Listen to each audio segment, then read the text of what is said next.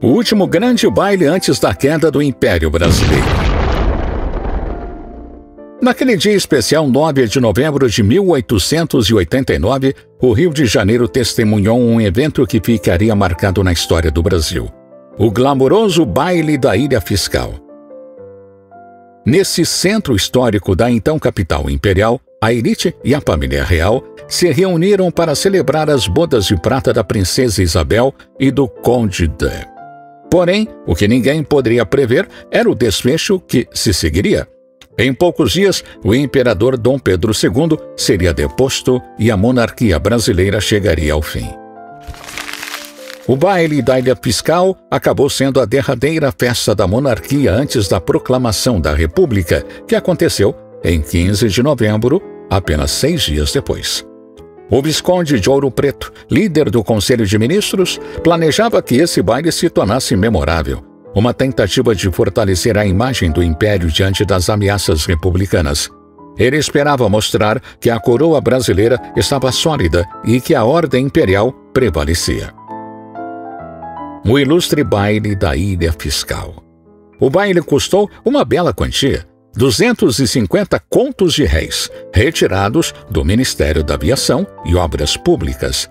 Para se ter uma ideia, este valor representava quase 10% do orçamento previsto para toda a província do Rio de Janeiro no ano seguinte.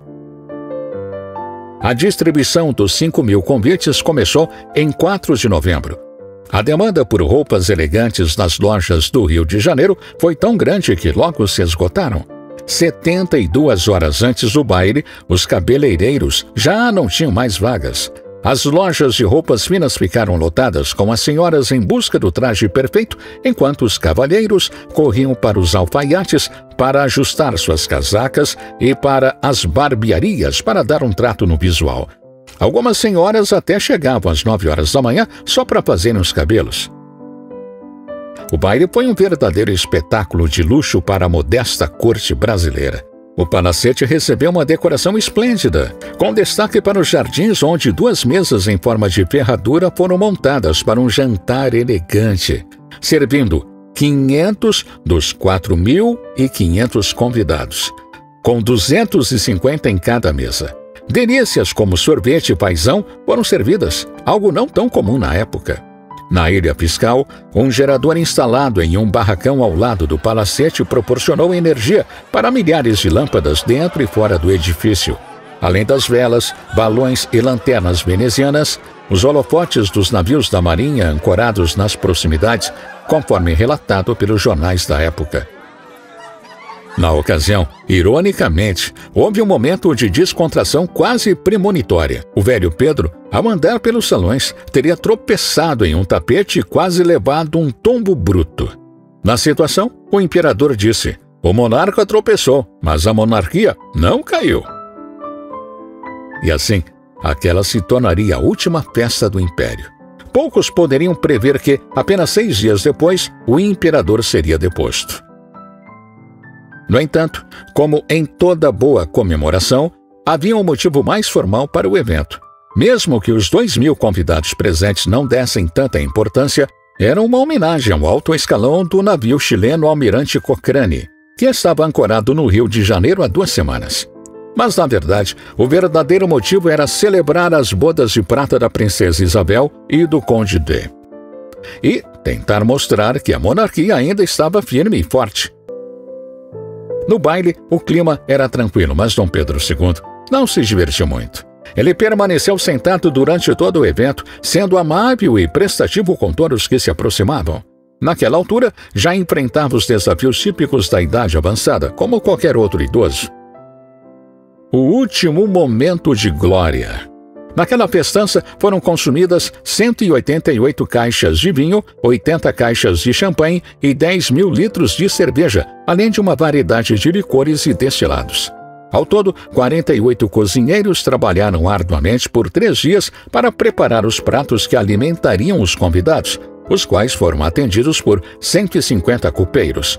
O cardápio incluía peças inteiras de caça e pesca, bem como uma grande variedade de aves exóticas. Sem exagero, os registros da última festa do Império relatam um verdadeiro banquete. 800 quilos de camarão, 300 frangos, 500 perus, 64 paisões, 1.200 latas de aspargos, 20 mil sanduíches, 14 mil sorvetes, 2.900 pratos de doces.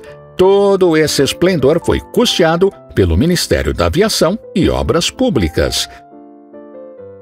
A diversão estava garantida. Duas bandas militares tocaram quadrilhas, valsas, polcas e mazurcas para os convidados, que dançaram nos seis salões do castelo.